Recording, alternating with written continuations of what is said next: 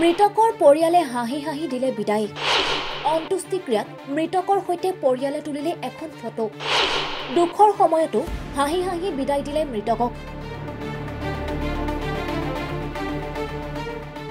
অন্ত্যেষ্টিক্ৰিয়া শব্দটো শুনি আপোনাৰ মনলৈ কি দৃশ্য আহে? সকলোৰে মনত সংবেদন আৰু মৃত্যু হোৱাজনৰ বিষয়ে আলোচনা।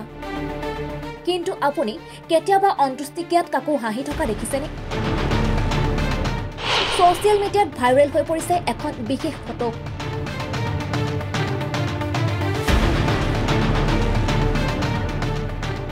কেৰেলাত পঞ্চানব্বৈ বছৰীয়া মাৰিয়াম্মা নামৰ এগৰাকী বৃদ্ধাৰ শাৰীৰিক সমস্যাৰ বাবে হৈছিল মৃত্যু।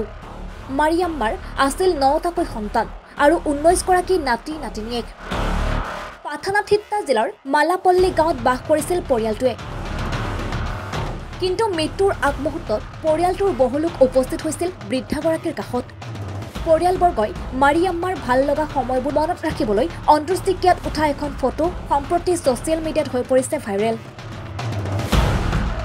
মৃত্যু বেদনাদায়ক কিন্তু হাঁহি থাকি কাৰোবাক বিদায় দিয়াটো এটা ভাল কথা যাতে তেওঁৰ মৃত্যুৰ পিছত হাঁহি হাঁহি জীৱন অতিবাহিত কৰিব পাৰে। News desk report time eight.